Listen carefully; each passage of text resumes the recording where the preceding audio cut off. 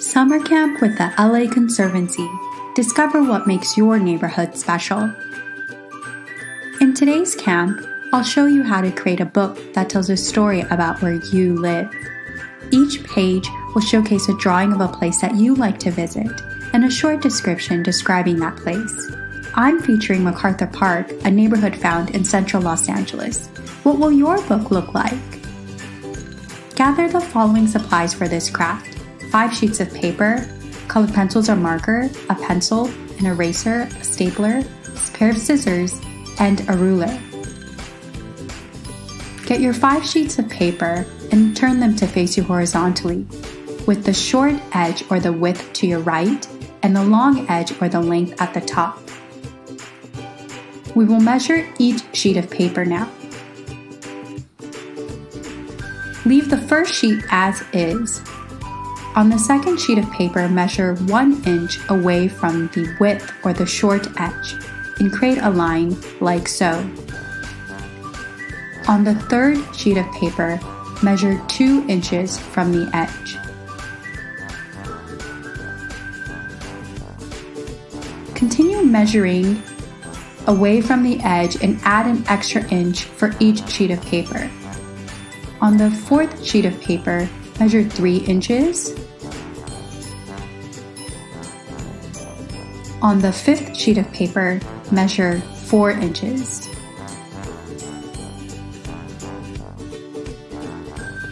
Cut the sheets of paper.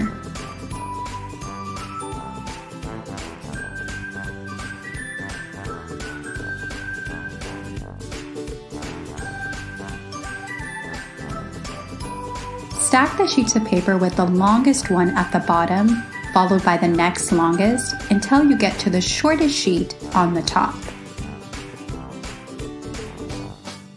Think about four places in your neighborhood that you like to visit. For each of those places, the pages will describe what that place is and who uses it. Write the name of the place on the edge and draw a little drawing that represents this place. I challenge you to include places that are 50 years or older. Think about and research by walking outside or learning online. On the cover page, write the name where you live. This is the name of your neighborhood or city. Next, let's begin working on the inside. The first page will showcase the history of your neighborhood, and the following pages will be about each of the places you're including in your book. There will be a section on each page for the short description of the place and a space for the drawing.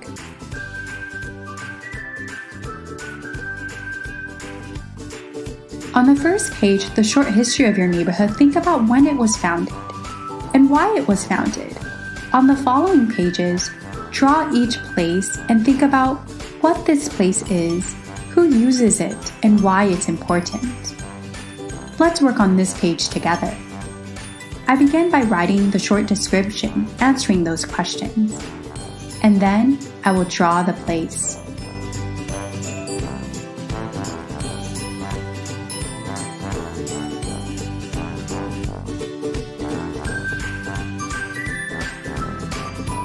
Once you've drawn the place, begin coloring and add extra details. After you've completed each page, you can staple on the top and bottom edge. I've included MacArthur Park, the Hayworth Theater, First Congregational Church, and Langer's Deli. Each of these places is important in the neighborhood of MacArthur Park. Tells the story of the history of this neighborhood and how it changed over the years. Which places will you include and what story will it tell? Explore your neighborhood. Discover what makes it special. Thank you for joining Summer Camp with the LA Conservancy.